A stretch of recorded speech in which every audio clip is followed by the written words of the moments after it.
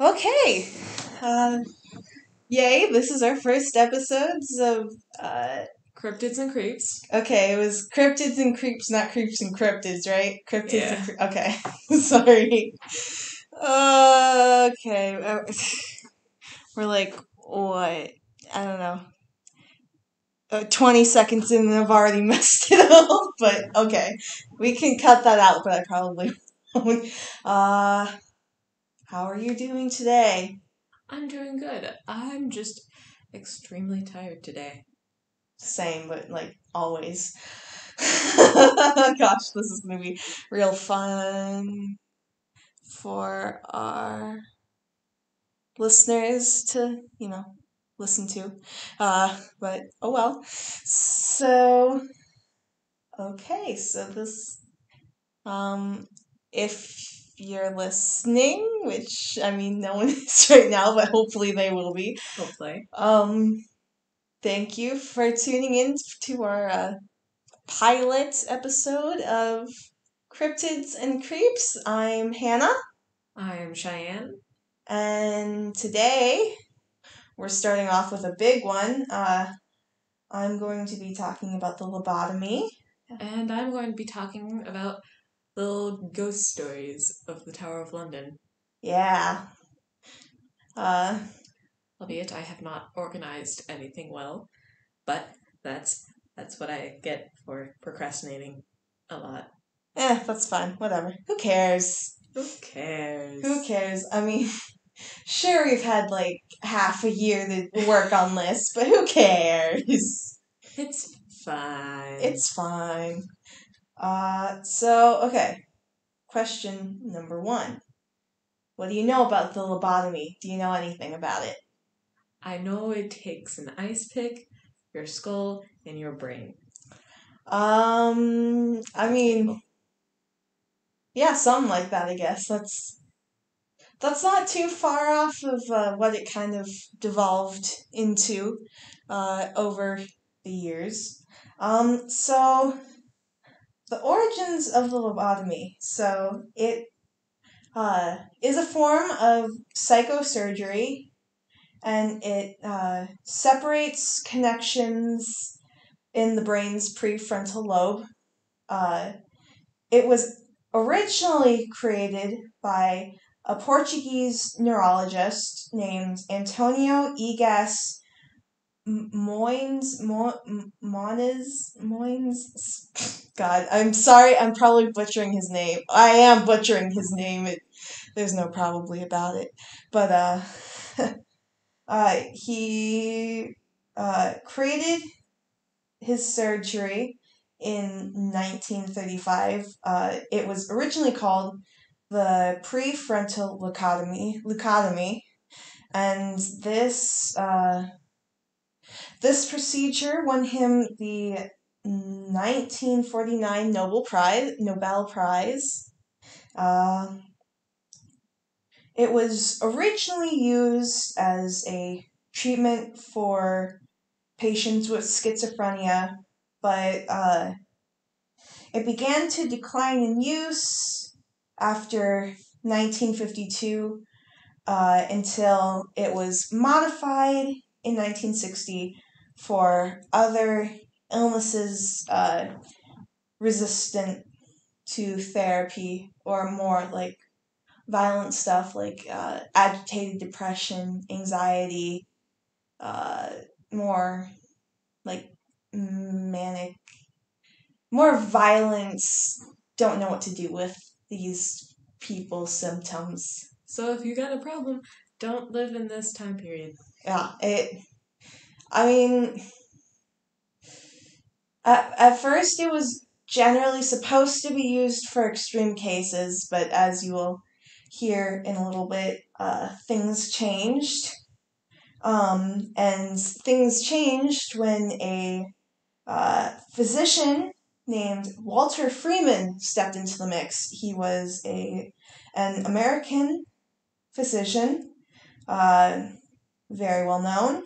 Uh, and on September 4th, 1936, he would perform his first lobotomy in the US with his assistant, James Watts, on a woman named Alice Hood Hammatt. Uh, basically, uh, Walter Freeman was kind of directing the surgery, and Watts, who was the actual surgeon, was doing the surgery. Uh, originally, it was definitely more surgical. They'd actually cut into the uh, they actually cut into the skull. I believe right about the where the temples are, and they'd uh, basically cut out little spheres. They wouldn't like cut them out, but they kind of scoop out what looked like spheres, and then they leave them in there, but they essentially sever the connections. Yeah, it, No. they basically made like watermelon balls out of these people's heads.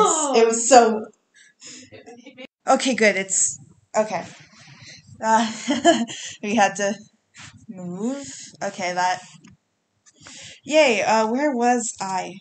Melon ball brain. Oh yeah. Oh geez. Melon ball brains. Yes.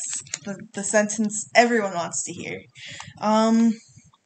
So uh, that was the uh, very very dumbed down version of the original procedure. Uh, back to Alice. Uh, Alice Hood Hammatt. Hammatt. Hammatt, I think. Uh, she was diagnosed with agitated depression. Uh, she twice attempted to withdraw consent before the surgery. Uh, she uh, supposed or she is supposed to have uh, withdrawn her consent because of concerns over her hair. Uh, she was afraid they'd have to shave her hair. Uh, so twice they went through this thing and twice uh, freeman basically lied to her telling her he'd well i mean he, yeah basically telling her he'd spare what he could but pretty much everything had to be shaved for her procedure so i don't know how ethical that is probably not very but um so post operatively she reported feeling happy, but six days later she experienced language difficulty, disorientation, and agitation. Uh, despite this, she was sent home, and Dr. Freeman considered the surgery a big success. Uh, I think this kind of really inflated his ego. Uh, so after his uh, after his initial success, he uh, would go on to create his version of the leucotomy called the transorbital lobotomy. Uh, this technique in- involved inserting an ice pick, uh, or it wasn't actually an ice pick, it was s- similar to an ice pick. Uh, it was a tool called an orbitoclast Uh, between the upper eyelid and the eye. So right here in the like right here, the orbit. Uh, and tapping it with a mallet to penetrate the orbital roof. After insertion, he would sweep the orbitoclast horizontally to uh, sever connections. Uh, but as you can as you can guess it was pretty haphazard uh, no really way to kind of see where you're going if you're in the eye i mean it just got weird um he would uh anesthetize. Oh God, I butchered that word. Uh, an- anesthetize patients with a portable electroshock machine. Mm. This allowed him to perform the procedure in his office. No. Uh, and uh, Watts, his partner, if you remember, did not approve of the me- uh, did not approve of this meth- method. Actually, um, s- with uh, with the transorbital lobotomy, it was technically not considered a surgery, so Watts wasn't even uh, involved kind of at this point. Uh, he was still partners with Freeman, but he wasn't really performing the surgery. Uh, in fact, one day uh, they sh- had shared an office for a while, and uh, one day they had he had walked in on Freeman performing one of these in his in their shared office.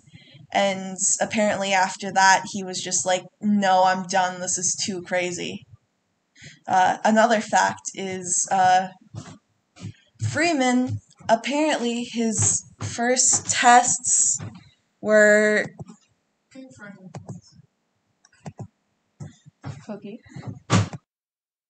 Apparently rather than testing this in any logical way he took i believe it was a grapefruit and or maybe it was an orange. Gosh now i can't remember. I'm so stupid. I should have done took a fruit of some kind. he took some sort of citrus and basically inserted an ice pick into like the ends. Kind of just stirred it around and was like this is my surgery um it was you fool. Yeah. That is not how we conduct things. yeah i i mean clearly you can you can see why watts was uncomfortable with this to say the least uh so as you can guess the outcomes of this surgery were very very inconsistent uh some some patients uh were mixed uh, some would seem to get better, but then uh, end up worse than where they started. Some died from the uh, procedure, quote unquote procedure. Some would later commit suicide. Some were left severely brain damaged. And some successful patients were able to go home or stayed hospitalized, but were considered more manageable so not as many violent outbursts, which, I mean, ma- makes sense when you've had something swishing around in your brain that's not supposed to happen. Um, but as I said, the outcomes were very inconsistent, even more so than the original. Uh, and it led to a lot of negative sentiment against Freeman as well as his work. Uh, and many medical professionals criticized him and his methods, as well as the very liberal use of his procedure. Um, as the years progressed, uh,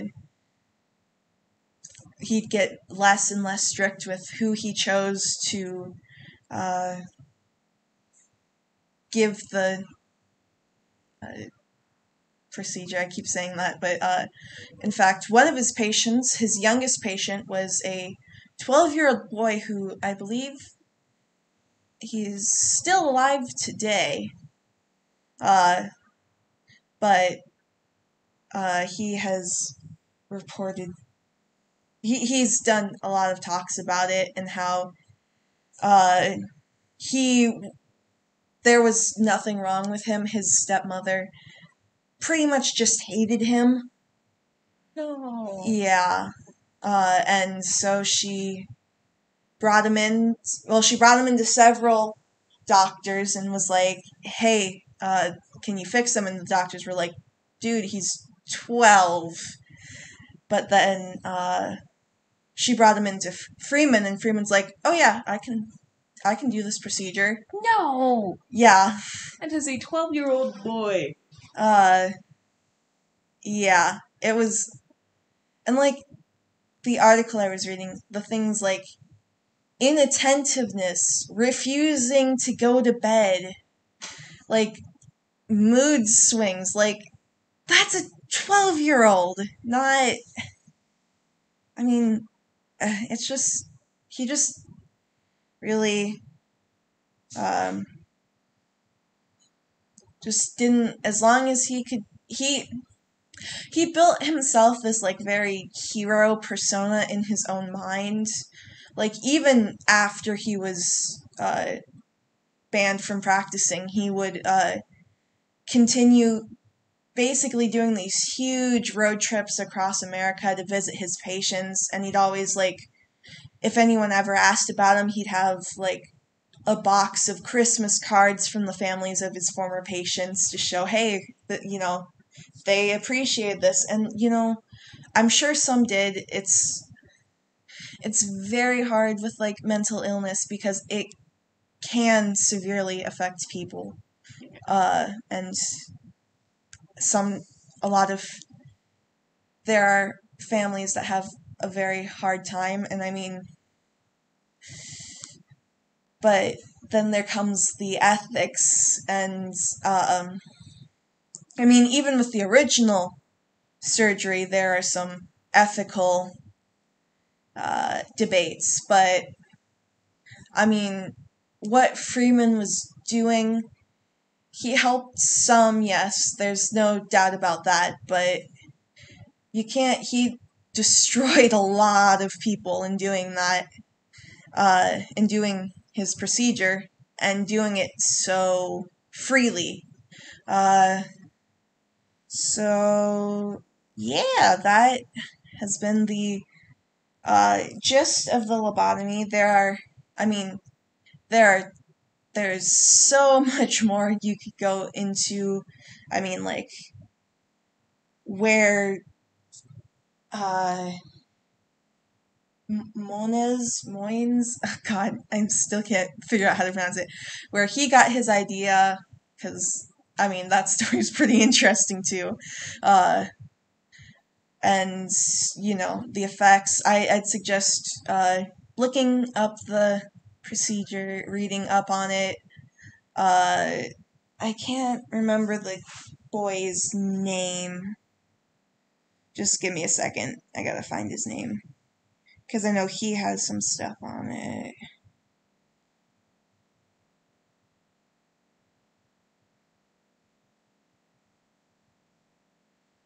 I love how my family. Howard Howard Dully. Uh Howard Dully. Yeah. So when he was one of the youngest patients, uh, and he has talked about it. Uh, he has wrote, written uh, a memoir, so I'd suggest looking him up. And I mean, obviously, he's the one who went through it. And I mean, this is the first episode. Sorry if it's not as well researched as it should have been. Hopefully, ne- next time. Yeah, next episode. Sorry, this is the pilot. okay. this is our pilot. It's our so special. So very special to it's us. It's so special. It's it's it's my pilot and I get to pick the research. Sorry. Memes. Memes. Ah, memes. I don't know. My, my, my, I mean, do vines count as memes? Like, I think so. Yeah. okay. They're funny videos. My favorite meme, then my favorite Vine meme is the demon one. You, do you know that one? Maybe. Uh, it's the hey hey I'm going to the store. You want anything? The souls of the innocents. A bagel. No. Two bagels. Yeah, that's my favorite one. Okay, I don't I don't know why I'm talking about my favorite meme. Uh, maybe I'll cut that out. Maybe I'll get lazy. I don't know. Oh, Laziness equals who knows what. yeah, I mean It can equal anything. it's my mental breakdown. I get to pick the music. it's my it's my podcast. I pick I get to pick It's how my we Google app app open. I get to pick how many tabs are open. a million. That's always the answer. It's a million. and there's always music playing somewhere. I will find it. Which tab is it? Uh, anyway, you want to start us off with the uh, Tower of London. Um, this is a very uh, interesting topic because was it, it must it was it'd be two years ago now we actually visited the Tower of London. You got to see the ravens Yep, and Ye- where a, a little beheading spot, yep. I got to see where Anne Boleyn was beheaded. and I got to see the crown jewels. Yeah, th- Only that, just that. we had like an hour there, and you spent like all day waiting. All All that time waiting Yeah. in a line just to see the jewels. I got to see some swords, so that was an upside. yeah, I got to see some uh m- metal dudes. oh gosh, statues to look like guards made out of metal, and it was cool. Okay, just believe me, it was two years ago. I can't remember fucking anything. Mm-hmm. Okay, so I guess the first story I'm going to start off with Henry the Eighth's armor. Now, with with this armor, we got reports of like the guards having like horrible sensations when they're repul- when they're when they're patrolling. Yes, that's English. Patrolling. Yes, English. Uh, guards had reported horrible sensations when patrol patrolling Patrolling. the place that had Henry's armor, and Like what kinds of sensations? Just like feelings. like a sense of dread. This and like different piece, people also reported having senses of dread and chills and that stuff. But you also got people feeling like they're being crushed alive, suffocated, and like they're just being strangled. It's like, oh, great, King Henry's being a dick. as always. As always, when did he stop? Not in the afterlife. Nope. Nope. Not a, not one bit. Then next one, the White Lady. Ooh. Set to haunt the White Tower, although I feel I have no idea where the White Tower is. Yeah, I don't I don't think we saw that. I mean I'm sure we would have seen something about the White Lady. I, I would have seen something about the White Lady if I had seen it, Yeah, but no, I didn't. Okay. but it said that her presence is announced by the smell of cheap perfume. Axe body spray. like she's just wearing Axe. yes. It's like, ooh, my boyfriend got it was I got my boyfriend's sweater on. That's that's why she's all in white. She just has a giant white sweater on. It's her boyfriend's sweater. It's just She's it's soaked in the smell of Axe body spray. She's so not- just drags. She's not even a ghost. She's just a woman in her boyfriend's sweater, drenched in Axe body spray. Like, nope, she doesn't exist. Not not in this world. okay, There's sorry. also like reports of being tapped on the shoulder only for said person to turn around and see nothing but a wisp of white. A wisp of white, huh? Yep. So, do they have any clue who this lady might be, or Nope. okay, just random lady? Just random person. I mean, enough people died in there. I suppose it's hard to keep track. Could have been Anne Boleyn. Oh, s- oh, someone in a white dress. I know exactly who wore that white ghost dress. Ooh. I don't know. It was um Lady Anne something or other. Yeah, she you know she wore exactly that cheap perfume that you know. I know, even though it's you know from olden It's- times. King Henry's like, get me out of here. She has a ton of cheap perfume on.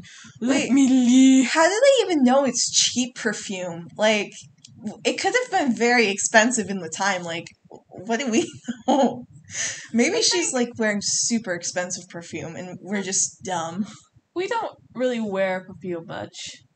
So, Well, I know, but like, who's describing it as cheap perfume is what I'm asking. Like, it's maybe it's like a super strong smelling perfume that doesn't really smell all that great. Like Axe body spray.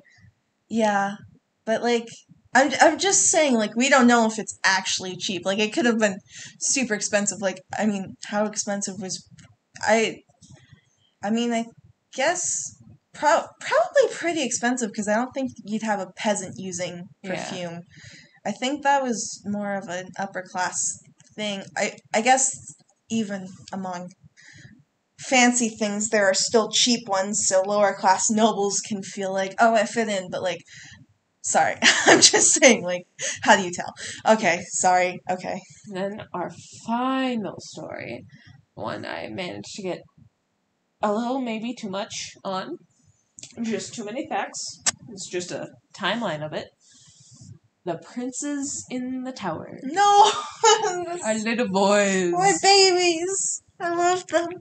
Well, I mean, they would probably have grown up to be horrible people, like, you know, everyone in their age. But, like, still, they were so innocent as children. Yeah, but like They didn't deserve to die as kids. their parents were like good people. They're like nice people, apparently. Oh. I mean, as nice as anyone can be compared. Well, okay. Sorry. I'll But their uncle was a dick. yeah. Yeah. That's. That goes with. I blame you, sir. I blame you for their disappearance, you Duke of Gloucester. Gloucester. Whatever it's pronounced. Gloucester? Gl- Worcestershire. Worcester, Duke of Worcestershire sauce. Mmm. Uh, I I think it's Gloucester. Gloucester. I'm sorry, anyone who lives in Britain, where We're absolutely butchering this. people who live in Britain, people who live in Portugal, and people who just who live in America. I'm sorry. Wait, even people who are native. I'm sorry to anyone listening to this who has listened for the past. 27 minutes. Oh, goodness. Well, probably a little less once I cut this, but you know. So, the two princes are Edward and Richard. Edward was 12 and Richard was 9. They're so small. Babies, just baby boys. And they disappeared in 1483. They were sent to the tower. Sent, I say in quotation marks, you jerk. Sent to the Tower of London by their uncle. Who was like, yeah, I'll take them. I I was trusted by their father, and then you continue to behead a person who was accompanying Edward to the tower. Oh dang! I didn't know. So we're, they were like all alone in the tower then. Yeah. There ha there is one reported sighting uh by this dude. What is this dude's name? What did did I ever even write it? Uh Dominic Mancini, I think. Okay. Mancini? Probably. But Dominic he said that the princes were seen more rarely behind the bars and windows until at length they ceased to appear. Oh wait, are we talking about ghosts or like, Like them it's they actually like actual sightings of them as alive. alive?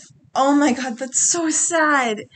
They just they basically locked him up until like no one cared, and then they got rid of him. They're like, oh yeah, see the princes are there, and no one cared, and then he's like, okay, time to kill these boys. And I was like, no.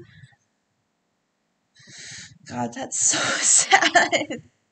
I want to go and hug them. Like, I want to go back in time and rescue them. I wish I could.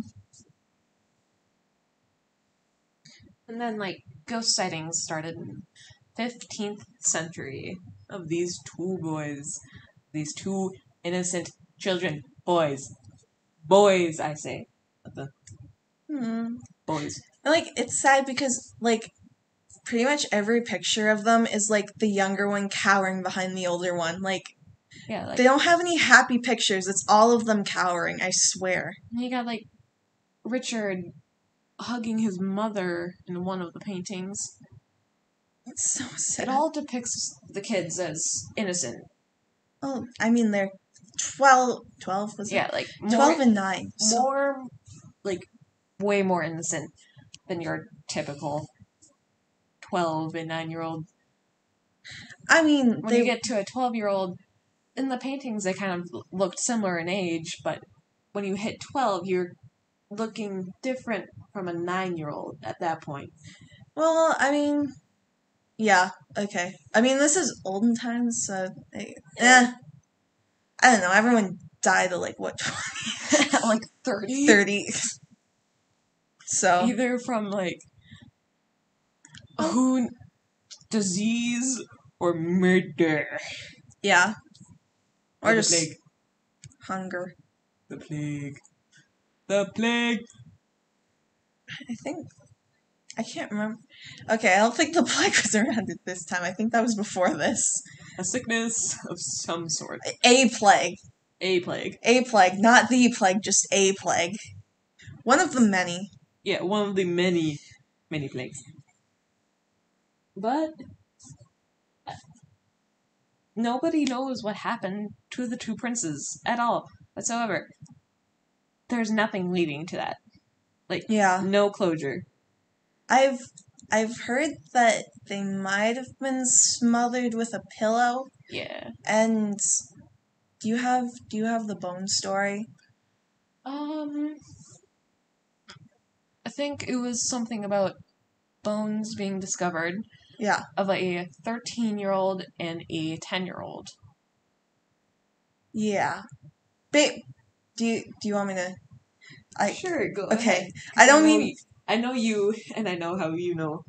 I, I I didn't mean I don't mean to hijack your story. I but it's uh this I was watching a documentary about the Tower of London, so uh, and this is fresh in my mind that basically they did they they found some bones and they I believe they interned them interred them as the bones of the boys, but no one's exactly sure whether they are and uh basically the this could have changed, I guess, but basically the government won't let anyone do any testing on them.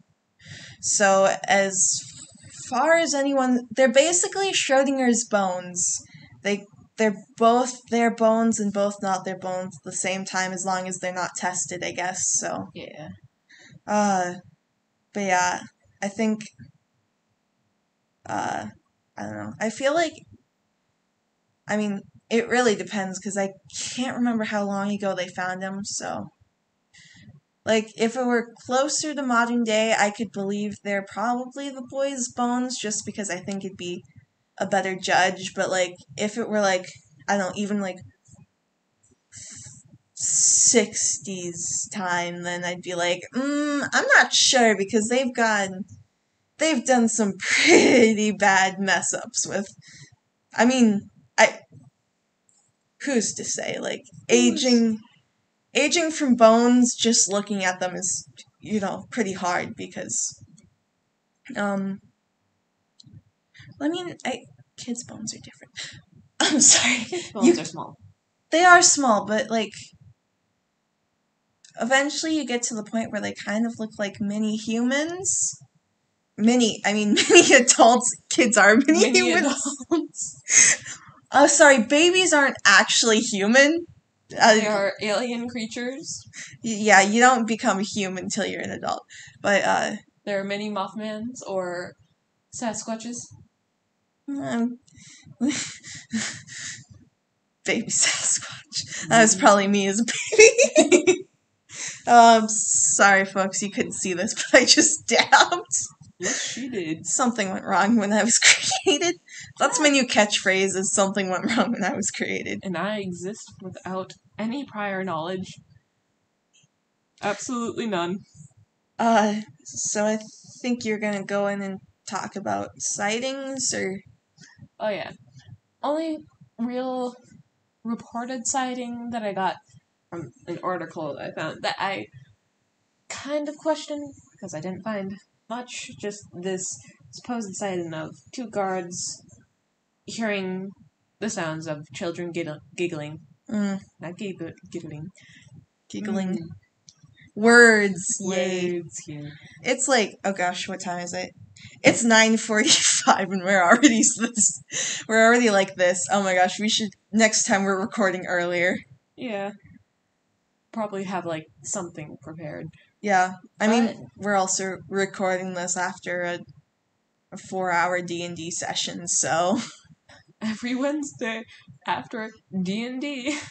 so we're we're we're making it entertaining for the listeners cuz like imagine if we were like just like oh yeah yeah these kids were killed and may they may or may not be seen like at least we're making it I kind of feel terrible using that as an example using these two kids being Oh. killed as an example I'm sorry I love creepy things but it doesn't mean I'm like w- weird about it like Yeah. feel like I, I do honestly feel bad for them They were tiny babies who didn't deserve this. mm-hmm. No kid deserves a death like that. Yeah, A mysterious death where nobody knows where what happened to you.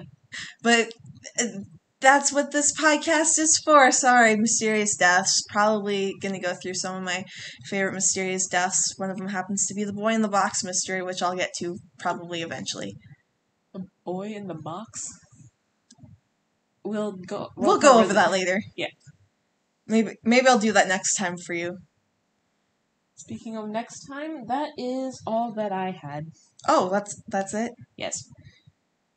You know, Other things didn't sound as interesting. yeah. Like they just sounded stupid a little bit.